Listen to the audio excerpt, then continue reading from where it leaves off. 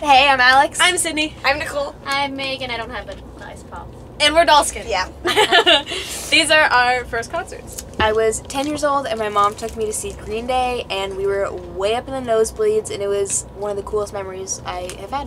A friend of mine told me he was in like the third or fourth row and I watched Billie Joe Armstrong get off stage, point at him and his friend and they're like, get up, come on stage, hang out. And they wouldn't. And they refused to get up and I was just mind blown. I'm like, I would give both my arms right now to do that. And there's my friend just ignoring Billie Joe Armstrong.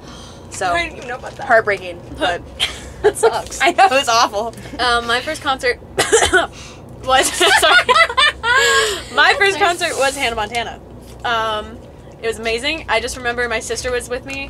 Um, I was with like some really good family friends and my sister, and she it was so loud she started crying at a Hannah Montana show.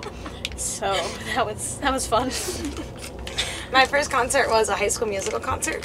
Um, I went with my entire family. I was. Zac Efron was not there, and it was Drew Seeley instead. Big disappointment. Sorry, Drew Seeley.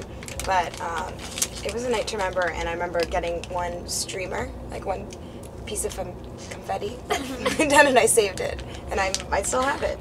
So Hi, I'm Meghan. Um, I'm going to not. I'm not going to lie to you at this one. I was just like, you know, should I just change the story? No, my first concert was Hannah Montana and Aly and AJ, and it was truly yes. I got some pretty good seats too. They were like up, and then they were. I could look down. I was like on the side, and then it was pretty great. And um, also the Jonas Brothers played too. Ooh, incredible. killer lineup. Killer yeah, a lineup. little, just stacked lineup. Wow. Um, Absolutely. but yeah, it was pretty great. Um, my, my sister and I were like very small. We were singing along with my dad. And My dad's like, "This is horrible." It was great. So.